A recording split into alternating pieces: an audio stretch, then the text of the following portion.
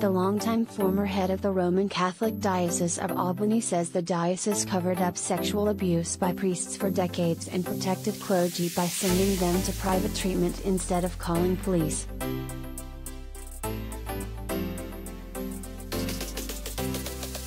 Bishop Howard Hubbard, who ran the diocese in New York's Capital District from 1977 to 2014 and has himself been accused of sexual abuse, made the admission in a statement issued through his lawyer to the Albany Times Union in response to questions from the newspaper.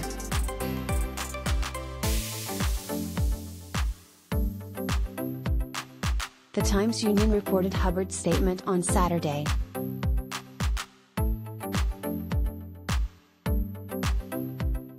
When an allegation of sexual misconduct against a priest was received in the 1970s and 1980s, the common practice in the Albany Diocese and elsewhere was to remove the priest from ministry temporarily and send him for counseling and treatment, Hubbard said.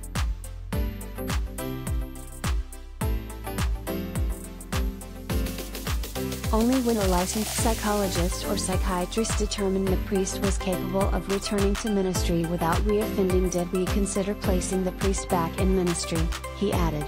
The professional advice we received was well intended but flawed, and I deeply regret that we followed it.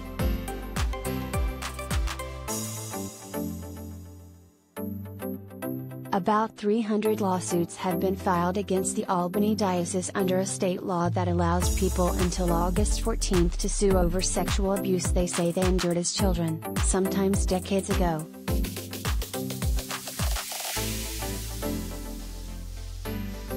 In the past, the 82 year old Hubbard has denied allegations that he sexually abused minors. In an August 2019 statement, he said, I have never sexually abused anyone in my life. I have trust in the canonical and civil legal processes and believe my name will be cleared in due course.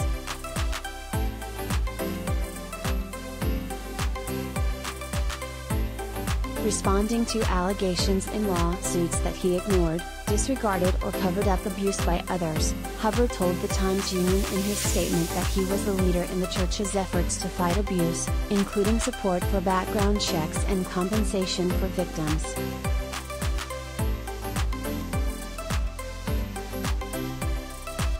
Hubbard's statement was not sanctioned by the diocese, the newspaper reported.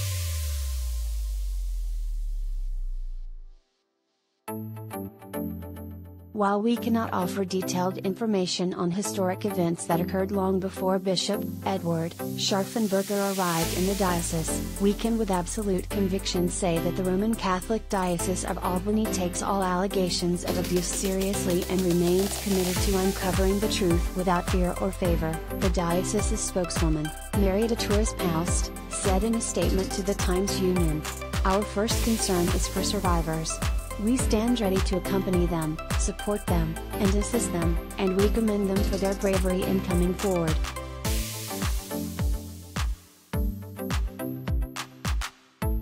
She added that the diocese has since 2002 conducted 38,381 background checks on staff and volunteers and required 37,900 safety trainings.